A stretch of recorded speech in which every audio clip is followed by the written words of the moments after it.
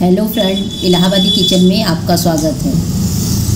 Friends आज हम बनाएँगे क्रिस्पी पोटैटो स्नैक जो खाने में बहुत ही कुरकुरे और स्पाइसी हैं। ये बहुत ही इजी रेसिपी है। इसे आप झटपट तैयार कर सकते हैं। अब हम क्रिस्पी पोटैटो स्नैक बनाना स्टार्ट करते हैं। इसके लिए हम सात आठ बॉयल्ड आलू लेंगे और उसे कद्दूकस से क्रश कर लेंगे। और हम 100 ग्राम पनीर लेंगे और उसको भी आलू में कद्दूकस कर लेंगे। अब इसे स्पाइसी बनाने के लिए हम इसमें कुछ मसाले ऐड करेंगे।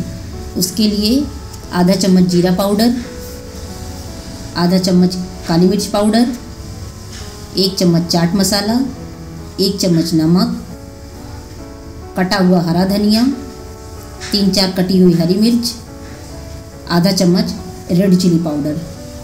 सभी चीज़ों को डालकर अच्छी तरह से मिला लेंगे। और इसे डो के रूप में तैयार कर लेंगे।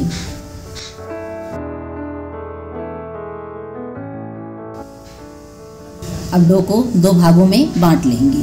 अब हाथ में थोड़ा सा तेल लगाकर एक भाग को हम फ्लोर पर रखकर हाथों की सहायता से चपटा कर लेंगे।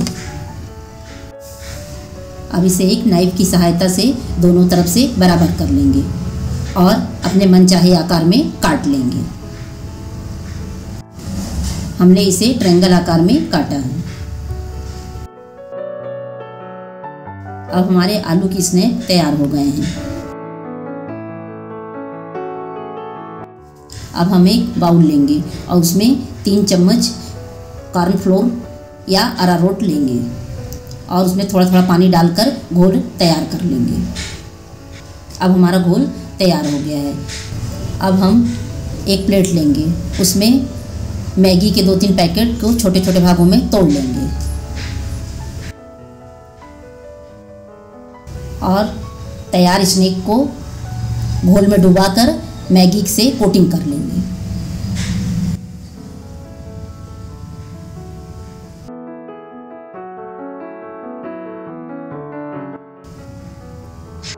और इसे गर्म तेल में डालकर फ्राई कर लेंगे।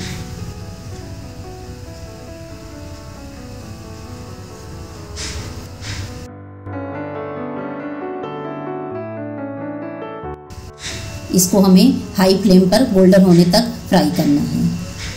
अब हमारे स्नैक अच्छी तरह से फ्राई हो चुके हैं। इन्हें हम प्लेट में निकाल लेंगे। इसे हम ग्रीन चटनी या सॉस के साथ सर्व करेंगे। हमारे पोटोटो स्नैक काफ़ी क्रिस्पी बनकर तैयार हुए हैं। ये ऊपर से क्रिस्पी और अंदर से बहुत ही सॉफ्ट है, जो खाने में बहुत ही लाजवाब है।